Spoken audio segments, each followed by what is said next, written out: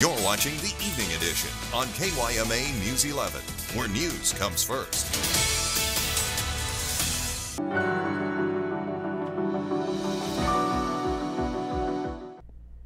KYMA's Look at the Bright Side each Thursday, sponsored by Country Club RV.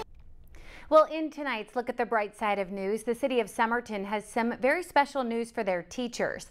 The city's marketing department announced a contest for all Somerton teachers. Deadline is tomorrow, but it has now been extended to August 14th. So teachers have two more weeks to enter. This is a way of saying thank you.